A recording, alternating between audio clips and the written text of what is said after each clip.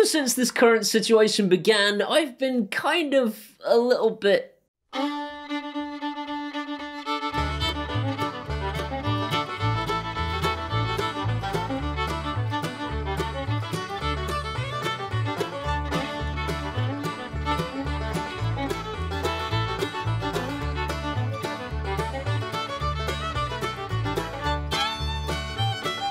You talking to me? I don't see anybody else here. You talking to me? So this is when I decided I should probably build myself what I have since dubbed the Sanity Station. This is the place where I can communicate with my friends and my relatives and hopefully not go completely mental. And you might be thinking, could you not just have used a laptop for that?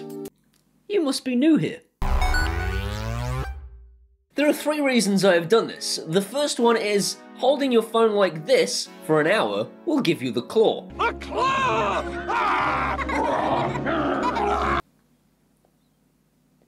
The second reason I've done this is I wanted to build a communication station, TM, around my phone. I started out with the PC and here's what happened. Someone said, let's meet on Skype. So I installed Skype. The next person, let's meet on Jitsi. So I installed Jitsi. The next person, let's meet on House Party. So I installed House Party. The next person, let's use WhatsApp. You know, the only thing that doesn't work on your PC.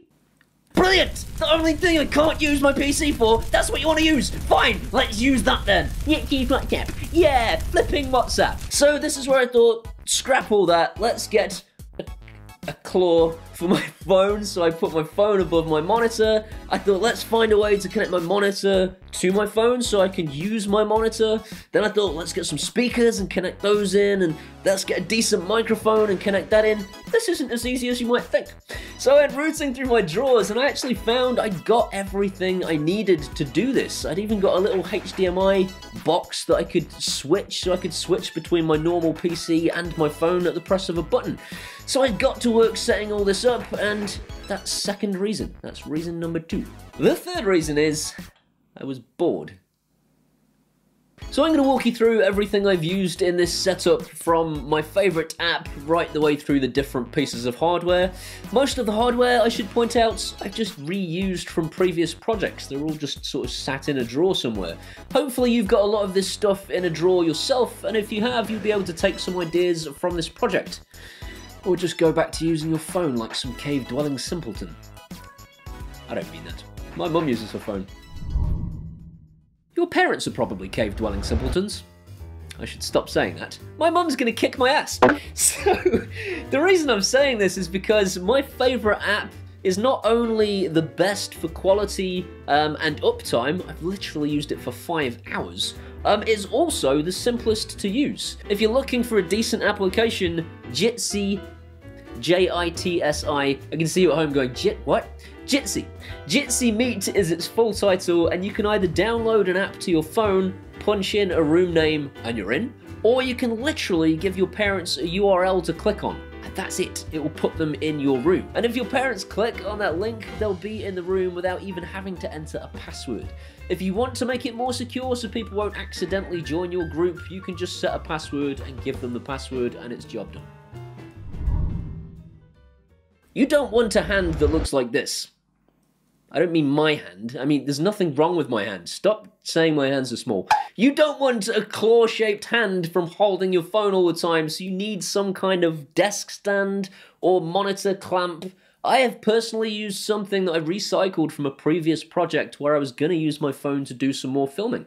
All I've done is clamped my phone to my monitor stand so that it hangs directly above my monitor. You should do that too. You can connect your phone to a monitor or a TV screen or a projector, depending on how pretty your friends are. Uh, whichever size you choose, you're just going to need a basic cable that will convert USB-C into HDMI. As long as your phone is capable of HDMI output, you should probably check that first. You can just buy a cable and plug it straight into your telly. If of course you need to be able to charge your phone, because your phone is going to quickly run out of battery by doing that, you'll need something a little bit more substantial than a cable. I've used a DeX station which cost this much money. Uh, there's a link for that in the description if you want one of those. It's brilliant. The other advantage of a DeX station is you can connect USB peripherals to your mobile phone. So I've connected a USB mic, for example, and I've also connected a USB mouse and keyboard. I never tire of using a mouse on a mobile phone, because I'm a massive nerd. Hi, I am from the future. I've just spent 40 hours making this very video all about this microphone. Unfortunately for me, that microphone is not suitable for this project at all. In my initial testing, I was just testing with Nisha, and it was absolutely fine. But last night, I came to use it with three or four friends in a chat, and it was not fine. It was not fine at all. Unfortunately, this microphone is heavily compressed. And what that means is it can hear the sound of the speakers, which means that my friends could hear their own voices bouncing back at them, which made our chat utterly impossible. Um, I have since replaced that microphone with this one from Fifine. The Fifine mic has a much lower level of compression than the Thronmax mic. Thronmax. Sounds like some kind of adult toy. So the Fifine mic, because it has a lower level of compression, it doesn't suffer quite so badly with the reverberation from the speakers, but it's still really important that you keep it a good distance away from the speakers and that it's reasonably close to the people that are speaking to it. If you're looking to buy a microphone specifically for this project, I would highly recommend you buy the Fifine mic that I've linked in the description so that you can avoid the nightmare that I had last night with my overly compressed microphone. Unfortunately, Android is a massive bimbo when it comes to sound. If you plug a microphone into an Android device, it thinks, huh, that's a set of speakers and a microphone. No, it's not. It's just a micro- No, no, no, it's fine. I'll send all of the audio to that microphone. Why? There's no point. It's for this reason that I've had to use a microphone with an audio jack output. If it didn't, I'd have no way of getting sound to my speakers. This is a major drawback with Android, unfortunately, that I've had to work around. If you're using a TV, unfortunately there is no way to use the TV's speakers as soon as you plug in a microphone. The speakers that I've plugged in to my microphone are some Gigaworks T20s by Creative, and they are glorious. I've had them for years, I bought them for Nisha's PC literally about 10 years ago, and they are still selling them to this day because they are that good. If you're looking for a really nice pair of PC speakers, I can't recommend these enough. They might be overkill for this project, depending on how permanent you want this situation to be. I think we all want it to end. But if you're looking for this to be a permanent solution for doing video calling, these are beautiful speakers. There are just two other things I want to do for this project. The first one is I would like to put an NFC tag in my phone's cradle so that when I put the phone in the cradle, it'll set the right Bluetooth profiles and maybe even launch the Jitsi app. I could do all that with Tasker, that would be a cool thing to do.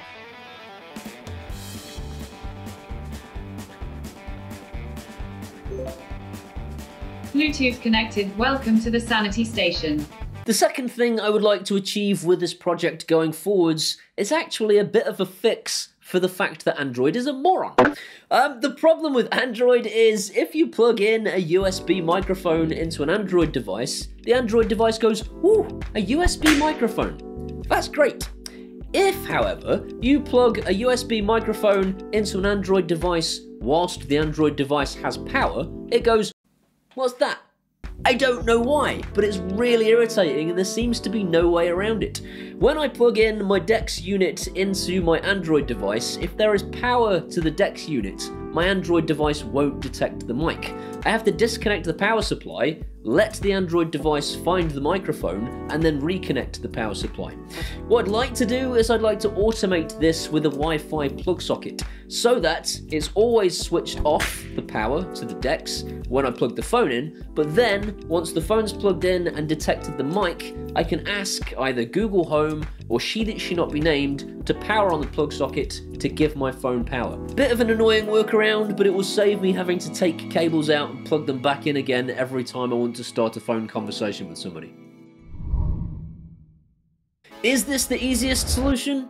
Of course not! Holding your mobile phone like this is.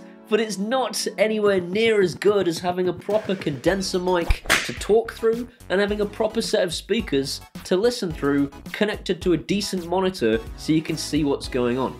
This is the best possible solution I can think of here in 2020. If you're looking for a slightly easier solution, you could use a Bluetooth speaker uh, with a microphone on it instead of all that audio equipment and still connect your stuff to a monitor so that you've got a decent picture and you've got a reasonable sound and a reasonable mic. But what I've found is, unfortunately, Bluetooth really does hurt the quality of phone calls in a way that doesn't for listening to music. I would recommend if you want to get the best out of speaking to your friends and your family at the moment, invest in this kind of a setup if you've got the time and the inclination. If you don't, just stop watching this video and call me names in the comments section. I'll enjoy that too. Hope you've enjoyed this video. If you have, please give it a thumbs up. That'll tell YouTube's algorithms it was a good video and more people should see it. If you want to see some more of this guy, hit that subscribe button and ding that bell. If you ding the bell, it lets YouTube know you want to be notified when I upload videos. These amazing people are my patrons from Patreon, and without them, I probably wouldn't have bought a lot of this equipment in the first place, and these videos wouldn't get made. If you want to be a patron on Patreon, you can do that at Patreon, or you can buy me a one-off beer at PayPal, and either way, I'll love you forever. If you want to come and hang out with me at all the social medias, there is all the Facebooks, the Twitters, and the Instagrams. I am there. Come and be my best friend. See you next time. Hey, Paul, let's meet on WhatsApp. WhatsApp. WhatsApp. Mm, WhatsApp. Let's use WhatsApp. You know, the only thing that you can't use on your PC. That thing there. Stick your phone in there. Go back to using WhatsApp on your phone like a cave person. Idiot.